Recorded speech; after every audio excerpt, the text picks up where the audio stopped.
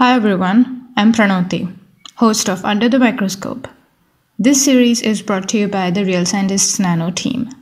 Our goal is to provide a platform where scientists can communicate their work and interact with the public. With that in mind, every week we introduce you to a scientist working in the field of materials or nanoscience who tweets from the Real Scientists Nano Twitter account, which is realsci underscore nano.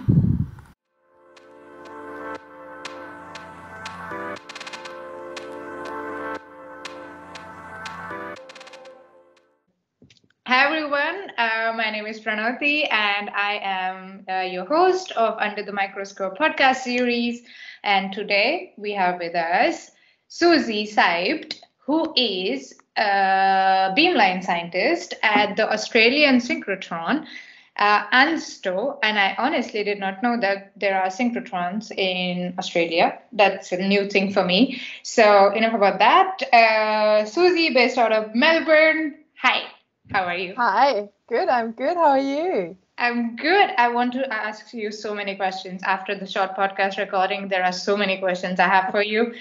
But let's start with um, getting to know your science journey so far. So, how did you end up in Melbourne being a beamline scientist uh, at the Science Donut? And for people who are just listening to the long podcast, if you want to know what a science donut is, refer to the short podcast or stay with us on the long podcast. Okay, Susi, there you go. Right. So I call my science journey the Great March East, which for German is a very weird thing to say. yeah. Let's start. Let's start at the basics. So I um, was a scientist probably as long as I can remember, and my parents will tell you that because I could never stop asking why, and I had to always know something. So far that my parents ran out of ideas, and my dad just made up stuff, which is not helpful but funny. Anyway, I studied um, chemistry, actually polymer science, um, in a really small town in Bavaria called Bayreuth. Um, classical music fans know that um, from Wagner, so it's the city of Wagner. It's a city in Germany, in Australia. A company or something? Yeah. It's, it's right. Yep. Ah, okay. So- So, go on.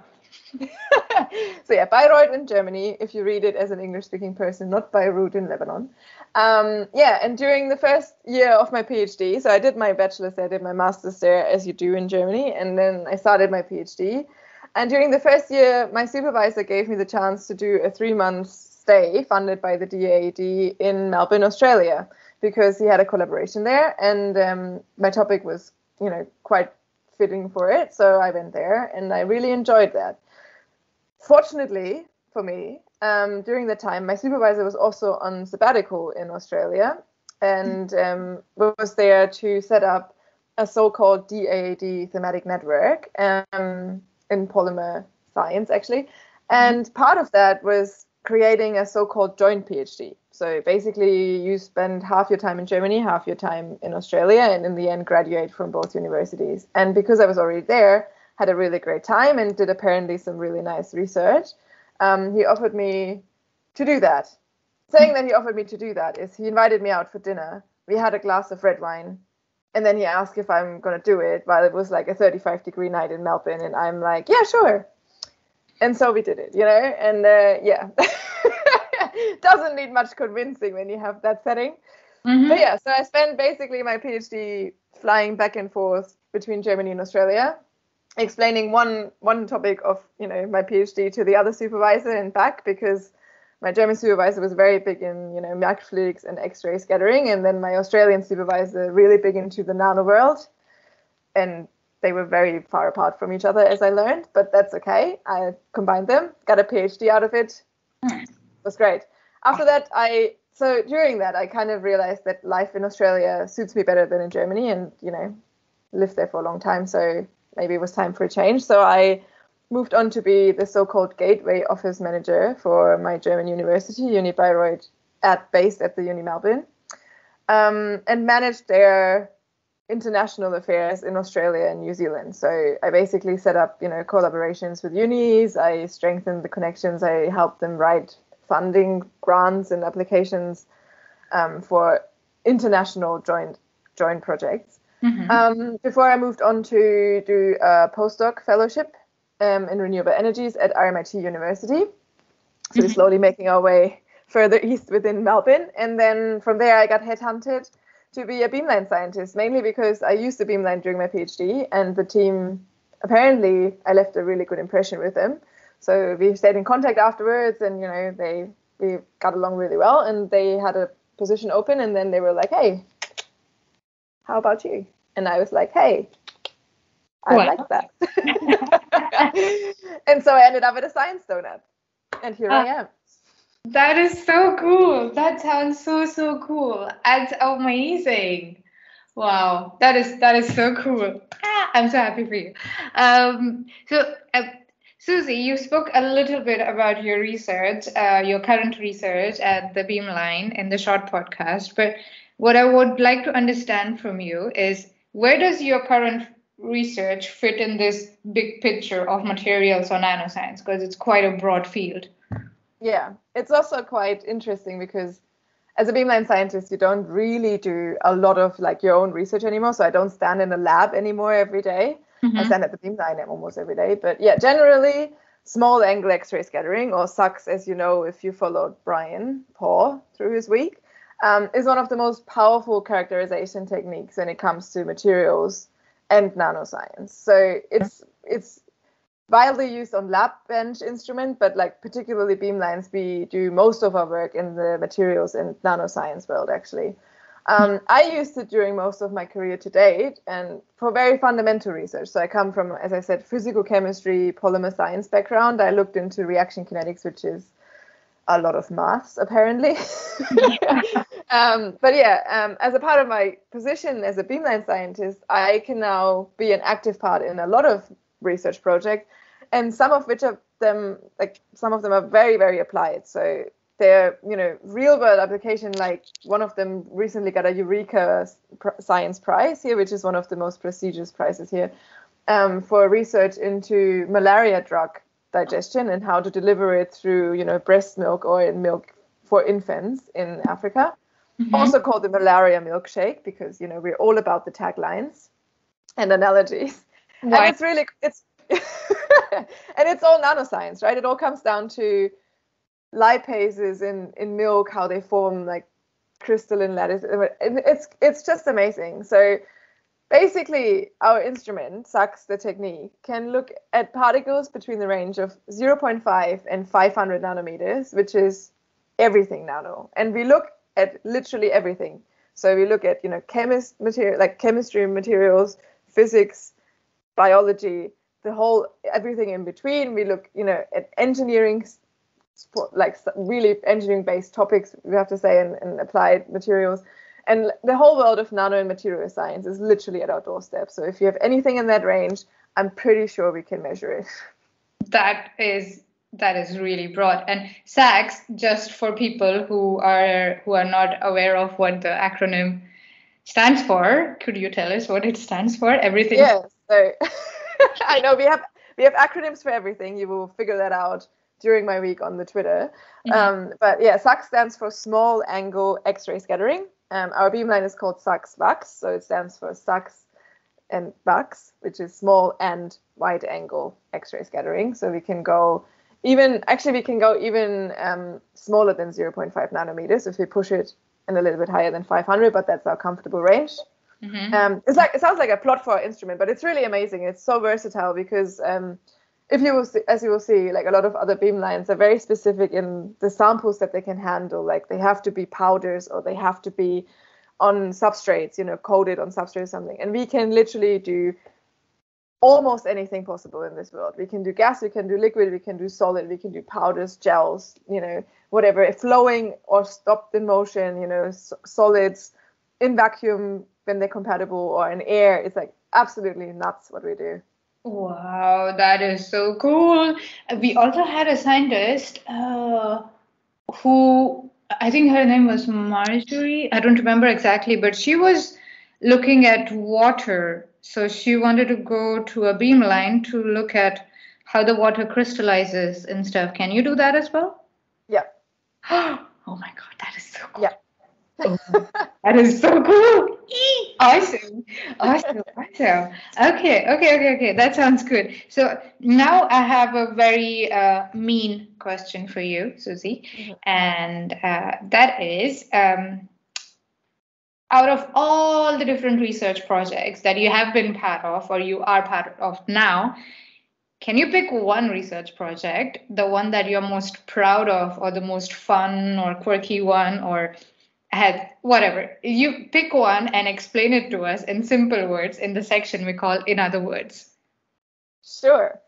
So I think um, one of the ones that I'm particularly proud of is when we when I adapted super super super fast nanoparticle synthesis and reaction into microfluidics and then looked at not only like how these particles grow but also how they start to nucleate in nanosecond resolution so yeah it's like it's absolutely crazy because it pushes the limits of everything that was available at the time and you know in technique of analysis as well as in how you present the sample and then also the adapted synthesis obviously so quantum dots are an insane material. I mean, by now everyone knows them from the QLED that you probably have at home or you admire in the shops if you can't afford it.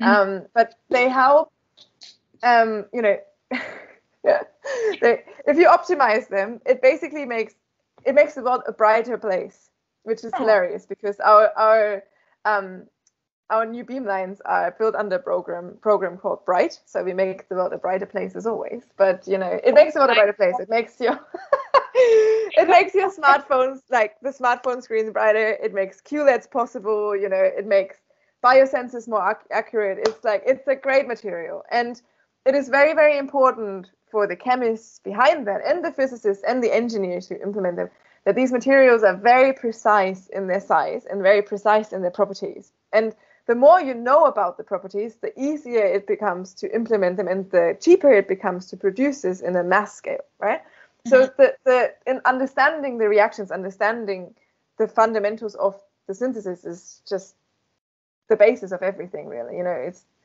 casus knucktus, as we say in German. Anyway, um, so what happens is if you have these materials, they're often done in like they're produced in a batch synthesis and it's really under crazy conditions so you heat up you know your solution with your precursors to like 300 degrees or something like everything from 100 to 300 degrees and then you inject an initiator and then literally in the moment that one liquid hits the other you can't even see it with your eyes but all you see is a magic color change and that's it. That's your particles. Done. You know? And like the thing is if you do this reaction how do you even take aliquots out of that to to look at what's happening during that reaction? So it's so fast it's like it's impossible. Yeah. And i managed to get you know a few of those reactions adapted to microfluidics and looked at them at the synchrotron and also with other methods like confocal microscopy how these particles start to nucleate and grow microfluidics is pristine for that because you can you know convert a time axis to a distance axis along a channel so if you have continuous flow you know in in small channels. That's how it. And so I looked at you know all the stages of the reaction, nanosecond resolution, how these particles nucleate and grow, and how you can you know tweak the little screws to make it better or worse, and um, you know what screw does what. Also, that's very important. So yeah, without you know wasting like 10,000 batch reactions, which are all done in a different environment. You know the beaker is maybe not as clean or whatever, and it all it all changes. So it is absolutely insane. And I think this is probably the one I'm most proud of. That is shooting my own horn. yeah, that, that, that, that, this is what this is what we want. This is what this is what this uh, question is for. To this is where you brag about the research project that you're most proud of, so to say. But oh wow, that sounds because I know how difficult it is to uh, to be able to visualize it or even tweak it at a nanoscale, uh, the nucleation, it happens like this. Yeah. Within a nanosecond. Oh, oh my God, that is so cool. Do you have pictures? I will post some pictures of this. when have like a video or something? I do also have videos that sounds so cool. Oh my god, that is so cool. That is so cool. Awesome. Cannot wait to watch that video. Um, that sounds really cool. Can you share that video? Can I add it in the video? in this video? um, I think the the best imagery. I'm not even sure if I made it a video or not, but the best thing that I did was um, having it on a confocal microscope. It's not SAXS for once, unfortunately, but it's it's cool because it's an optical method, right? It's, yeah, it's also confocal so, microscopes yeah. are really cool. I love them. Oh. I love them so much. Anyway, so I did it. Um, I did. I imaged the whole channel because the reaction it is spread out over um, a distance along the channel, but it's static even though it's in flow mm-hmm. because you know, like the time scales are static at several positions along the channel. Um, and I imaged the whole channel, and you can see, you know, because these quantum dots, they have the awesome feature that they're fluorescent when they grow, and they change in fluorescence as they grow along. Mm-hmm. Um, and I imaged it, and you can see like the whole like how I hydrodynamically focused my reaction and where it's onset, and then it gains in intensity and shifts in in um, spectra, how they grow along the channel in 3D. So oh, it's literally wow. like you you're like on a roller coaster ride along your reaction, which is absolutely insane. Oh, that sounds so amazing! Oh my god, that is so cool. Oh, and it looks like a smiley face, which is the best part. so. Now I have to see the video and put it in this video if that's possible. Please, I need to see that now. Oh my god, that sounds really, really cool. Wow. Wow. Every answer you're giving, it's like, oh my god, oh my god, oh my god, oh my god. Yeah, you want to do it, hey? that is so cool. That is so cool. So, I mean, Susi, after speaking with you for this short amount of time already, I have I have the feeling that you you really enjoy the research. Uh, you, you do enjoy the research, but there is there are other aspects to being a scientist and to be a beam scientist, um, beamline scientist. Um, so what else do you enjoy other than the research itself, like getting your hands dirty, sort of a thing, not really metaphorically because we are all safe and stuff. What else do you enjoy about being a scientist? I um, actually really enjoy science communication. So, as I said in the shorter podcast version already, I'm really big on science communication. I have a science YouTube channel. Check it out. Um, I will talk about this. I'll talk about this on Sunday a lot. It's called Helium, like helium, but with an S because we're females, and it's great. Um, and I love the like what I love about it is the curiosity and the interest. Then you can spark in other people. Like there's this moment when you break down a really really focused and you know like science lingo like topic to the bare minimum that you need accurately to understand it mm-hmm. and it opens people's eyes and then they get curious and then they ask you questions like but why is that and how does that work and you know oh can you show me the molecule i don't understand but you know you show them differences and then it like it clicks and it's they get really into it they're like children and mm-hmm. this is what i love because it comes down to being a child. Like we're all inner children, you know. We all wanted to play with the sand castles in the sandbox and you know eat the sand because it tastes tasted. Anyway, might have done that. yes, go on. Is, if you make an effort as a scientist to you know reach out to the public and explain it in a way that it's approachable and and you know really applicable to them and they they understand it it makes conversations happen and it, it, sparks an enthusiasm about science that is really infectious. Like they go on and they talk to you know their families about it. And they're like oh today i learned this and it's actually really simple you know and like and you sit there and this is what it should be. Like it this just like science is for everyone. It's everywhere. It's not a scary topic. It is just the world you know and the world is fascinating. It's a fascinating place. So i love that. And i love this moment particularly in children. So i do a lot of science outreach also in schools particularly the german ones around here because i'm german and when they get their hands dirty, literally because I do like little lab experiments, you know, like edible water bottles, my God, it blew their minds. Just, you know, just having like a little polymer film that is edible and encapsulating water of different colors and then having like bubble tea, but like made yourself. We call them edible water bottles. Blew their mind. It's the easiest reaction, you know. Excellent. And it's it's sparks a curiosity and it takes away this bias that we're having. And I feel like this is what we all should do. We break the bias Mm-hmm. Yeah, absolutely. Edible water bottles. It's not just for the kids. I also want those, and I'm also fascinated by those. they're, the, they're the greatest child's birthday party trick, apparently. Like all the mums afterwards contacted me. So the kids go home, right? And they get like the little plastic bag with the edible water bottles, like, Mommy, look at this. And they contact me and they're like, Can you do this with apple juice and orange juice and all the juice? And I'm like, Sure. And they're like, How?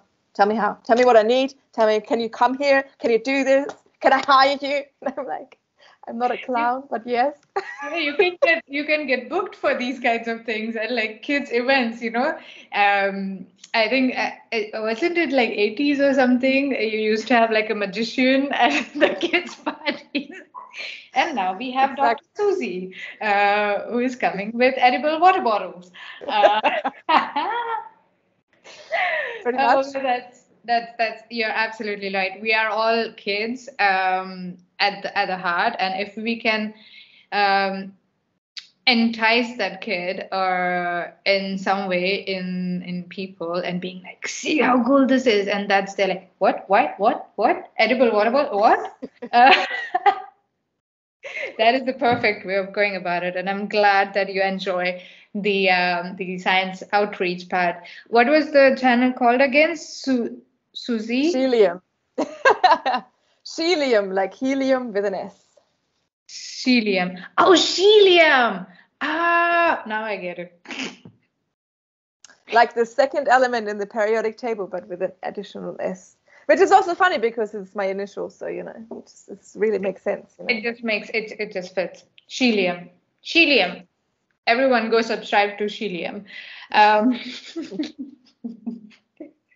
so, um, Susi, um, it sounds to me that you have gathered a lot of experience uh, so far. I'm not calling you old. I'm just saying that you have lots of experience. Also, wise, right? very wise. so wisdomous. Oh my God. Um, so, what what advice would you give uh, yourself uh, if you were starting out your journey, science journey today, or what advice would you give to other budding scientists um, based on what you know now? Yeah, I think it is a bit following on from you know what we just talked about. I think what is very important as a scientist is to find something, find the reason why you became a scientist and the passion why you stuck to it for you know whatever period you're at right now. Um, because the, and and you have to try and hold on to this and try to spread that enthusiasm in other people. You know, particularly in non-scientists around you. I feel like yeah. Because the thing is, I always I was always told you only know that you understood something when you can explain it to someone else, right? Correct. So you only know that you're passionate about something when you can spark this interest in someone else. So if you listen to me talk about my topics, I can talk about this forever, you know, but but the way I talk about it often gets the reaction of, "Oh my god, that's so cool." And I'm like, "Yes," and I don't make it dry because I'm really passionate about it. And that's what I do and the, I, I find this very important because times in science, particularly in academia and research, which you spend a lot of time with when you study, can get really tough. And particularly at the moment, you know, there's a lot of misinformation and there's a lot of criticism on scientists and what you know why we exist, why why we want to stand in the spotlight, which we really not often do. But you know, it, it can get really tough and can get really draining. So it is very important to remember why you went down that path and spent so much time with it and you know finding that spark of curiosity and passion for science also for yourself and then for everyone else because you know sometimes when you take yourself out of the picture and look at what you do it is really fascinating and you know it never ends because the world's a, eh, the world and the universe is just endlessly fascinating so it just you know yeah where do we even go from here that is correct. That is five thousand options. that is correct. Yeah, you're absolutely right. You, it's it's good to be reminded of why we went on this path and have that moments of like just take a pause and being like, why did I decide to become a scientist? Yes, because I love science and science is amazing. Even if the world is burning, it's fine because science is cool. And being in the lab, analyzing my results, or writing that paper is what makes me happy. And that's why I'm doing it. Um, Sometimes it's also good to go back to like being a child, you know, like the other day. I made a video about because it was Easter, you know, for the Christian celebrating people amongst us. Us but we all take a free holiday, so so be it, you know. So it was Easter, and we dye Easter eggs. Makes no sense, but we do it anyway. And then there's some real cool t- tips to like do that with just things you have at home, and that's like something that every child does, you know. And you can explain meanwhile the science of it, and it's so fascinating why you have to put vinegar in there. You know, if you put it in vinegar overnight, you can like dissolve the shell and make a bouncy egg and things like that. It's just so cool. It is literally, and you do that with eggs in your kitchen, and you're like, this is like the coolest thing, and it's literally in my fridge downstairs. So it's so cool. Oh my god, it's so cool. I feel like if you are not already doing this, maybe you can consider this as your side hustle. Uh, being um, a scientist at the kids' birthday parties or something to get them like edible water bottles. There are the bouncy eggs. There's like so many things. If you're not, it's already... better than magic because it's real. it's real. it is so real, and this is a great way to communicate science and also entertain the kids. And like, oh my god, that is so cool. Can I hire you for my birthday party? Anytime. Okay. you just want edible water bottles, but I'll make them for you. Yes, edible water bottles. Yes, please. I want to know the science behind it, and I'll just sit there with all my friends and be like, "Oh my God, this is so cool! Tell us more. Tell us more. And why and what and uh, um, would totally do that. I I can totally do that, and that is one of the reasons why I started this podcast because I was like, I have so many questions, and the only way to get those questions answered is to ask the experts and i'm going to ask them all kinds of questions. And this is so actually this podcast is for me not so much but you're sharing it with the world which is you know yeah. the greatest approach. That is a that is a good point. Yes that is true. Um susi um it all sounds like your science experience so far has been like amazing and it's all like winning winning winning winning everything everything just worked out and i'm sure there were uh, points where you were like oh, i wish i had this. I wish things were different. I wish i had this coffee machine or whatever.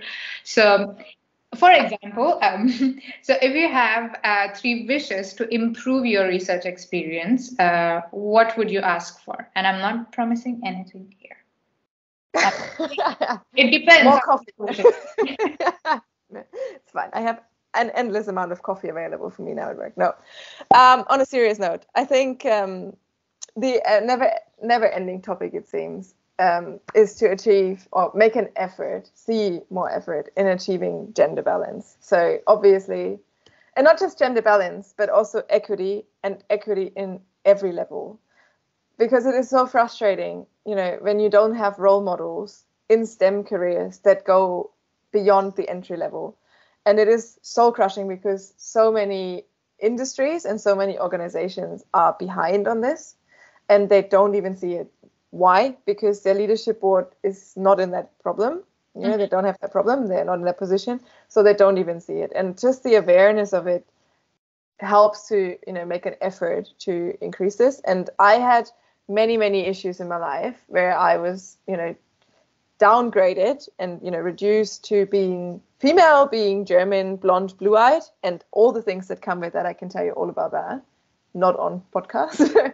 but yes, it's very frustrating, and it is very you know it fosters an imposter syndrome in all of us because once you get successful, you always have this, oh, you should just get hired because she's the quarter female, and it's just not right. We are excellent scientists. We are excellent science, science communicators. We are excellent researchers and excellent beamline scientists. And we all do our bit. We all pull our load and we all do excellent work. So, you know, there needs to be an effort for that. Second thing, I guess, is, um, you know, following on from that also to have a better funding structure. I mean, I'm in Australia now. Australia has a lot less funding than Germany for science, which is really sad and you know we are just about to have another election, so who knows what comes out of this? Um, but I don't want to go political. But the thing about it is that what if the last two years told us anything, is that we need an open ear and funding for science because it is essential for our survival on this planet. It is essential for our health. It is essential for our technology. It's everything. And I feel like governments don't put enough emphasis on this. And this is a global phenomenon.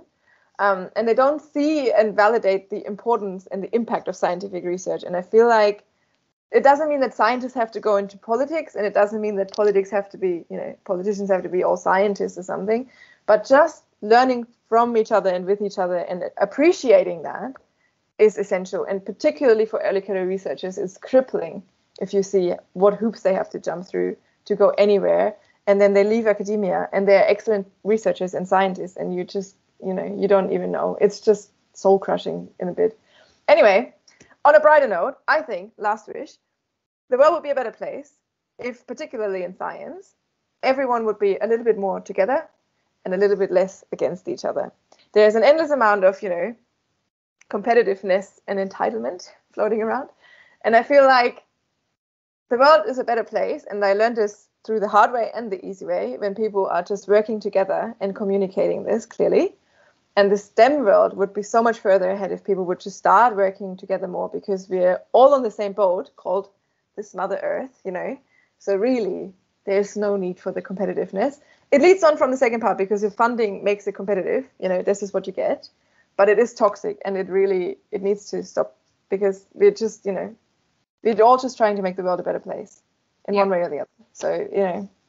Yeah, absolutely, absolutely. All three of your wishes are extremely um, valid uh, for sure. And I recently heard this podcast uh, regarding your first wish. Uh, I have to read that article, but I heard the podcast um, with the writers of this article, which was titled, or which is titled, Stop Telling Women They Have Imposter Syndrome. Yes. It's the structures that make people feel, make women feel that they have imposter syndrome. They yeah. are the the structures and the society that we live in that's what is ugh, stop telling people they have imposter syndrome fix yourselves guys it's not us it's you. 100% i could not agree more. Oh my god that is oh, un- unbelievable.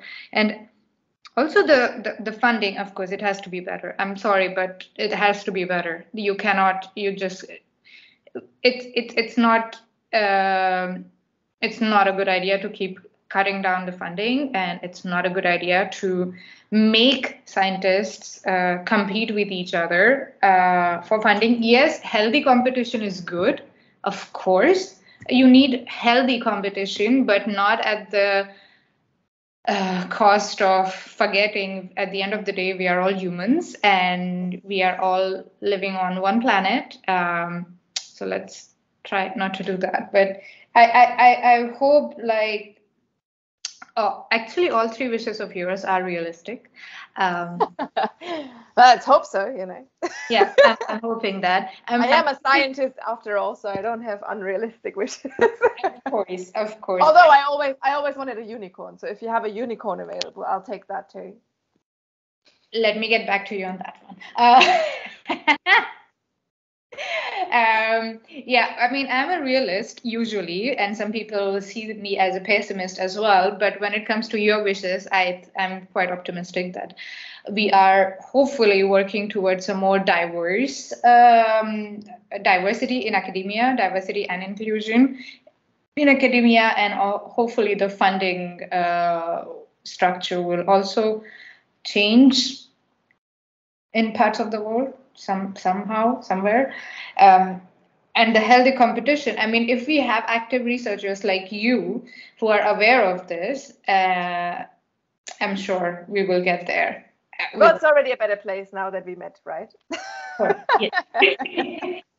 Absolutely. Could not agree more. Could not agree more. Susi, this has been so wonderful. Oh my God, I love you and I love the conversation. Um, but before I let you go, I have one last question for you. And that is what are your learnings from the current times that we are living in, uh, uh, the new era uh, that kicked started at early 2020 and i'm not going to say use the p word or the c word but you know what i'm talking about. I know what you're talking about. And i think my biggest learnings are that science is essential. Mm-hmm. and uh, you know i feel like people got a little bit of a glimpse into science now which is good and bad you know it has its bads but mm-hmm. I feel like it is good that it got a little bit more awareness, you know, that there's science and it is here to save our days, which is what we do, you know, the heroes of the world. Um, like Mario, you know, and Luigi. Anyway, so that's that. And then also, I think we all got a chance to, um, you know, even though it was a very stressful time in one way or the other, um, it still is, um, even more so now, I feel like. But we all had a chance to take a step back and really rethink our values and rethink the things that are really essential to us and what make us happy. And I feel like that moving on from that, we should try to implement and hold on to that. You know, I mean, science for once, but flexible working arrangements or you know, like work-life balance, having pets, having children, have you know, partners, all of this alive.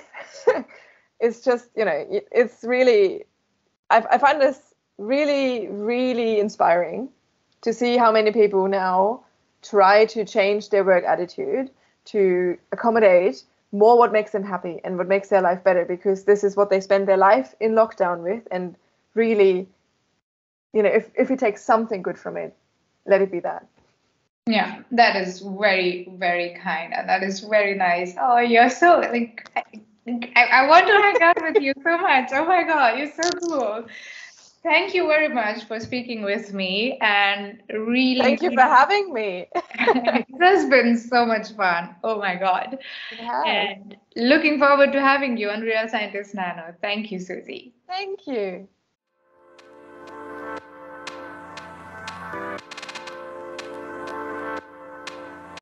Thank you for listening. This is Pranoti, host of Under the Microscope. To know more about us, visit our website, thesciencetalk.com, and follow us on Twitter at realsci underscore nano.